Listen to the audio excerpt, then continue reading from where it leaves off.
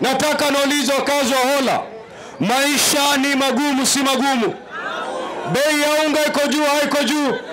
Hii bei ya unga ilianza juzi, si ilianza zamani? Ilikuwa gali toka zamani. Serikali ilikuwa wapi wakati huo? Si tulikuwa na serikali na Azimio, lakini wakati huo wote wanaangalia Mkenya, mkazi wa Hola anateseka.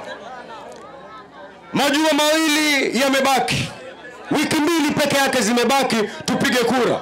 Sasa wameleta chambo, wametufanya sisi kama kuku.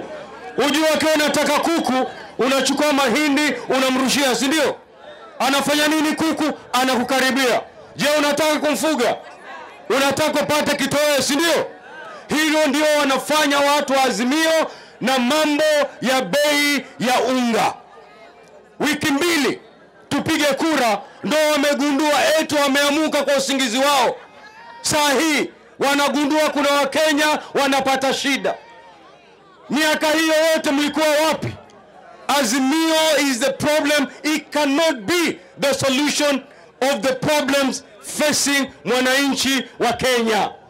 Saa hii wanakuletea unga, wanasema tumeshukisha bei ili uwapende, na baada ya tarehe tisa mwezi wa nane bei ya unga itarudi pale pale. Je, mtanaswa na mtego huu? Ola, mtanaswa na mtego huu? Nataka tuambie Azimio, licha kushukisha bei ya unga, hata mkaleta unga uwe bure, wembe ni ule ule. Tarehe tisa mwezi wa nane, the fifth president of the Republic of Kenya is none than William Samoe Ruto. Wapi kura ya Ruto hapa? Asanteni, tunawapenda.